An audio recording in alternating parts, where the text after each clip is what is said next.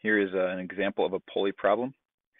We're always going to draw in the segment between the centers of the circle, and we're also going to draw a segment that goes from the center of the small circle perpendicular to that radius of the bigger circle. So what we've effectively, effectively created here is a rectangle because we have right angles up there. That means that's going to have to have 90 degrees left as well. So we've got this rectangle, and in a rectangle, opposite sides are congruent. So this length is 30.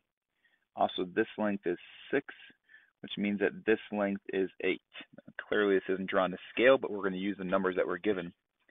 And now we also have then this small right triangle. And in that right triangle, here is our right angle. From this angle that we're trying to find, 8 is the adjacent, 30 is the opposite. So we could say that the tangent of theta is equal to the opposite over adjacent. In other words, the angle is the tangent inverse of, simplify that, 15 over 4. Because there's so much symmetry in these problems, this angle below it is also theta.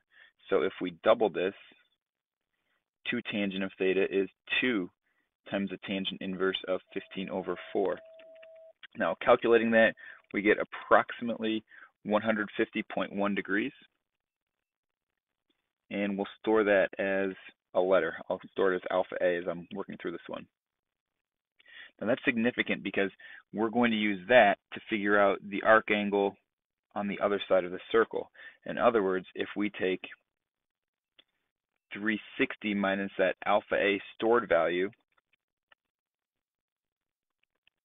we get approximately 209.9 degrees, storing that as alpha B. The last thing we're going to do before we get to all the calculations to actually calculate this belt length is to recognize that if we extend this segment a little bit, then what we have are some parallel lines. Specifically, this radius and this radius are going to be parallel to each other. Since they are both perpendicular to that same tangent, then the purple segments have to be parallel, and then our corresponding angles are congruent. So since this angle is theta, this angle is theta as well. The angle above it is going to be theta as well because of all the symmetry.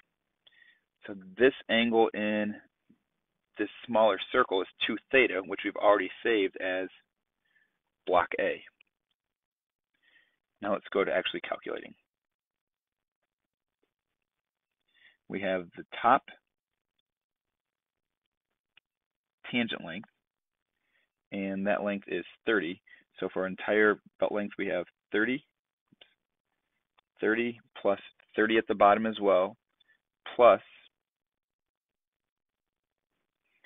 that arc length. That arc length is going to be the central angle, which we have saved as B. So alpha B over 360 times 2 times pi times the radius of 14 plus, now we're going to find the arc length over here on the smaller circle. That central angle is A, so it's A over 360 times 2 times pi times that radius of 6. We finish off this problem by going to the calculator, entering all that into the calculator just as we see it, as long as we have these values stored as alpha A and alpha B.